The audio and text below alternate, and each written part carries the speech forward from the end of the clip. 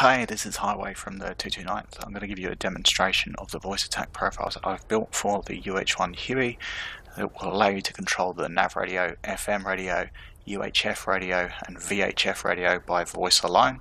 This is really handy if you have difficulty when you're tuning the radios whilst in flight and paying attention to where you're going. And also if you've got a virtual reality headset such as the Oculus or the Vive, uh, I will give you a demonstration of how these radio frequencies work. Uh, I'll be posting up a demo of these profiles which will give you some of the functionality uh, in this post and I'll make the full version available later on which is going to be uh, payware.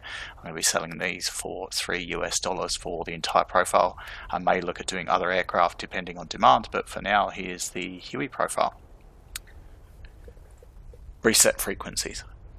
Please ensure your radios are set to the default frequencies in the Huey and that VoiceAttack is being run as administrator. Tune nav radio 11030. Tune nav radio 10750. Tune FM radio 42.75. Tune VHF radio 118.250. Tune VHF radio 117450.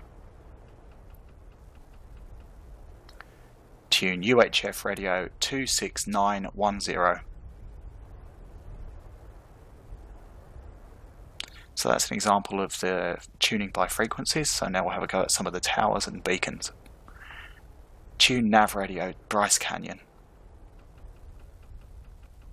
Navigation radio set to Bryce Canyon Beacon. Tune VHF radio to Batumi Tower.